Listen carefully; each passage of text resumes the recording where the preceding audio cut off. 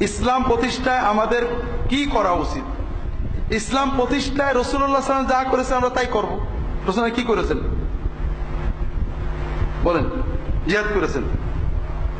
আচ্ছা মদিনায় তো ইসলাম প্রতিষ্ঠা হয়েছিল। মদিনায় রসুল্লাহ সাল্লাম মক্কা থেকে পাঁচ হাজার শূন্য নিয়ে যে সবাইকে মেরে দখল করে ইসলামের রাষ্ট্র করছিলেন, ঠিক না? কি করছিলেন?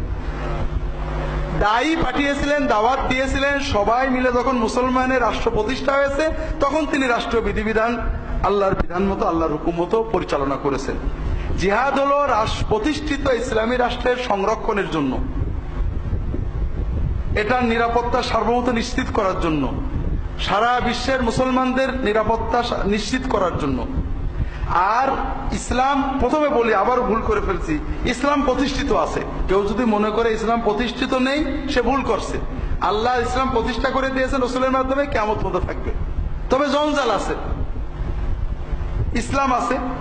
অনেক ময়লা, আবর্জনা, ভুল ভ্রান্তি ঢুকেছে। এগুলো সংশোধন করতে হবে, প্রথমত দাওয়াতের মাধ্যমে। বিভিন্নমুখী দাওয়াতের মাধ্যমে ইমানদার তৈরি করতে হবে। আমরা যদি এখন আমাদের একজন আমাকে বলছে, আমরা এদেশের আশি নব্বই ভাগ মুসলমান, আর এই সমস্ত শয়তান কাবের নাস্তিক আমাদের উপর টান্ডা ঘোরাবে, আমরা কিছু করব না? তা আমি বললাম যে দেখেন উল্টো, এদেশের নাইনটি নাইন পার্সেন্ট মুসলমান হলো থার্টি ফাইভ সিক্সটি ফাইভ মুসলমান, অর্থাৎ সেকুলার মুসলমান। অনেকে নামাজই পড়ে না মুসলমান, যারা নামাজ পড়ে তারা সুদ খায়, ঘুষ খায় বেপর্দা চলে, আসে না নেই। তাদের আমাদের পঁচানব্বই থেকে নিরানব্বই জন মুসলমানের ইসলাম হলো থার্টি ফাইভ সিক্সটি ফাইভ ইসলাম। আমরা হুজুররা একশো ভাগ ইসলাম দিতে চাচ্ছি, ওরা মনে করে ওরা ইসলাম নিয়ে বাড়াবাড়ি করছে। হুজুররা বাড়াবাড়ি করছে। একজন নামাজ পড়ে, নামাজের বিরুদ্ধে বলে রাগ করে। আর যদি পর্দার কথা বেশি বলেন, বেপর্দা চললে তার বাড়ি ঢুকতে না দেন, ওরা হুজুরা বাড়াবাড়ি করছে। আছে না নেই?